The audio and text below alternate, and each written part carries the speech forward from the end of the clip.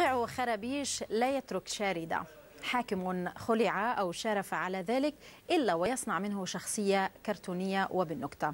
والصورة الهزلية وشر بلية الحكام هو الذي سيضحكنا في هذا التقرير مع الزميل عماد العضايلي من عمان.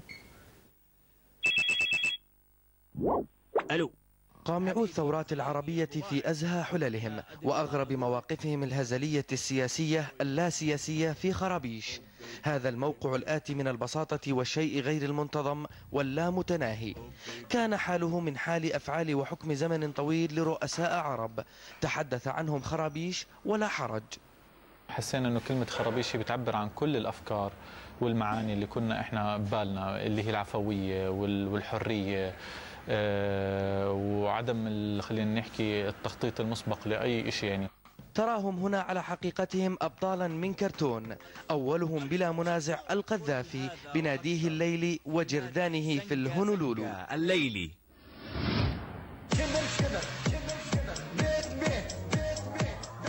والريس بهيس. ولو مش عاوزيني أنا عاوزكم. وفي الحقيقة أنا لقيت الحل. إيه رأيكم؟ والزين بمكالمته الموثقة صوتا وصورة على خرابيش. نحب نجي نعمل بعضين كيامات الله؟ تيجي فين يا روح أمك؟ الله يخرب بيتك نيلتنا مع الشعب جاتك ستين نيلة. مرات ممكن يحكي نكتة بس لمجرد النكتة.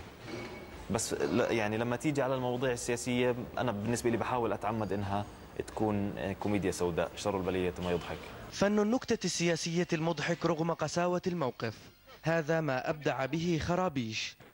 تاركا كاميرا ال MBC ومشاهديها مع تجليات حكام ستشهد عليهم بعض الخرابيش.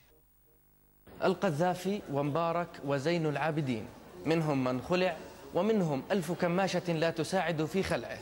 كلهم جعلوا من السياسة مادة للصغار ومن الكرتون تجليات للكبار. على هذا الموقع الذي أخرج صورة رؤساء عرب دون تزييف مضحكين تارة وضاحكين على شعوبهم تارات. وبخرابيش شر البلية ما يضحك. عماد العضايلي إم بي سي. عمان.